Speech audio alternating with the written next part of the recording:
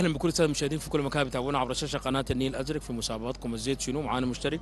نتعرف بك أيوه مرحبا بك. والسلام عليكم ورحمة الله وبركاته. وعليكم السلام. وأنا أبا بكر أبو بكر عبد الله إدريس. كيفك يا أبا بكر؟ والله تمام الحمد لله رب العالمين. كل سنة وأنت طيب. أنتم طيبين والصحه والسلامه رمضان كريم. الله أكرم. تصوموا وتفطروا على خير. جمعا إن شاء الله. الله الأهل كويسين. كلهم كويسين. إنت كويس؟ أنا امانه الله والله. الحمد لله ما شاء الله من جاي هناك تضحك. الباصتك شنو؟ كلمنا أضحك معاك. والله الحياة ذاته دايرة كده. الحياة ضحكة؟ دايرة ضحكة الحياة ما داير له زعل ولا داير أي حاجة. آه، ضغط حايم سكر لا، لا، أي- حايمة. كلها حايمة. لكن أمر لله. أمر لله. اي إن بس خليك دايما مع الزيت شنو؟ إن شاء الله. الزيت شنو؟ الزين والله كل الشعب السوداني. الزيت كله الشعب السوداني؟ الشعب السوداني كله. يا أخي انت لسه زول. طيب حاسالك سؤال. نعم. الزيوت بتاعت العربات دي نعم. بتاعت المكنة زيت المكنة أي. هل دائما بيكون فيه تجارب وبيخضع للمتابعة وكده ولا لا؟ طوالي بيكون ماشي بنمط واحد ماشي كده لكن عنده زمن محدد كده مثلا في 15 يوم ولا في 20 يوم ولا عندنا برنامج معين عليهم. اي لا طيب الشركات العالمية الزيت ده بيخضع إنه للتجارب ولا بس طوالي بينزلوه في السوق؟ لا لا لا لازم واحد يجرب يجرب يقول والله شركة فلانية الزيوت وكده كده أحسن شركة كده زيوت كده ده كم دار تغير يقول لك مثلا مثلا في توكس ولا شنو ما عارف ديلك هو يقول لك أحسن زيت. بس.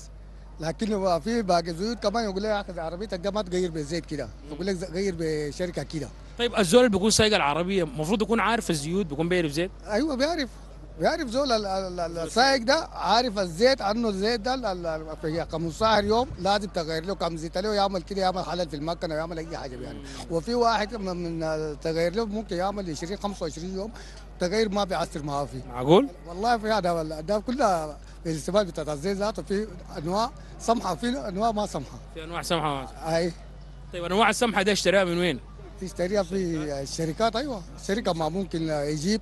إنه في ناس الدكاكين ذاته بيشيلوا من الشركات يجيبوا جواليب يجيبوا ببراميل يقول لي يا أخي زي ده في سمع وده كده. مثلا ده تلقاه فريق في 2000 و 3000 الواحد يشوف الرخيص لكن لما يكون ده مثلا ب 25 ده ب 21 ده ممكن بشيلها ب 25 ده. انه هو يصلح لعربيتي أنا. يعني يعني الزيوت دي بتخضع لتجارب. أيوه إن شاء الله. أشكرك. شكرا جزيلا كل سنة وأنت طيب. طيب. صح والله. أضحك خلي الدنيا حلوة.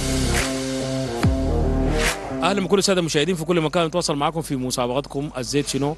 معانا مشترك. مرحبا بك نتعرف بك آه، السلام عليكم. معك عثمان حسن خليل. كيفك يا عثمان؟ تمام والله الحمد إن لله. شاء الله أنت كويس. تمام والله الحمد لله. رمضان كريم. الله أكرم. زيوت زيوت المكنة. بتخضع دائما لتجارب من المصنع. ولا بس الزيت ده بس بيكون ماشي كده طوالي بعد ذاك بيجيبوا زيت جديد؟ هي هي لابد لابد تخضع لتجارب وفحوصات داية دورية متواصله طوالي لأنه بيكون في تغييرات تطورات في الزيت في حاجات جديدة بتكتشف كده. يعني الزيت لازم يخضع لتجارب وحياه زي دي. يعني لا ممكن لا قدر الزيت لو ما حصل له تجارب ممكن يفسد. يعني حياه كثيرة جدا جدا. بالذات يعني بيخضع لتجارب وكده. أيوه أكيد طبعا. ودي بتقوي الزيت ولا بتقوي سمعة الشركة ولا؟ لا أول حاجة بتقوي سمعة الشركة بتقوي من سمعة المنتج برضه من أدائه في في السيارات. برضه يعني كل ما الزيت يتطور كل ما تجاربه بيجاد أكثر تمام. طيب نحن ناخذها منك إن شاء الله إجابة ونشوف المختص حيقول شنو رأيك شنو؟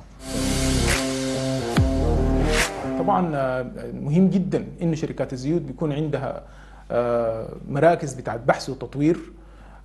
مثلا شركة فوكس عندها تسع مراكز بتاعت بحث وتطوير حول العالم بميزانية ممكن تقدر ب 54 مليون يورو. الغرض منها إنها آه، تواكب التطور الكبير في الماكينات والسيارات والشغل الصناعي برضو. آه، يا جماعة نحن بنطور في الماكينة بالتأكيد إنه الزيوت القديمة ما حتقدر تشتغل مع ما حتشتغل معنا. الزيوت تقريبا كانت زمان الماكينات فيها كربريتر كان احتراق بسيط بعد شوية خش التيربو بعد شوية خش ال electronic injection اللي هو الحقن الإلكتروني وهسه حاليا خش ال GDI اللي هي gasoline direct injection. وخش ال TGDI اللي turbo turbo gasoline direct injection. فالحاجة دي تطور في الماكينة ورفعت من قدرة الماكينة ورفعت من كفاءة الماكينة فبالتالي حيكون قدرة أكبر وبالتالي حيكون في حرارة أعلى ويكون حركة أعلى. فالزيوت القديمة ما حتشتغل معاك لازم تكون في مواصفات جديدة.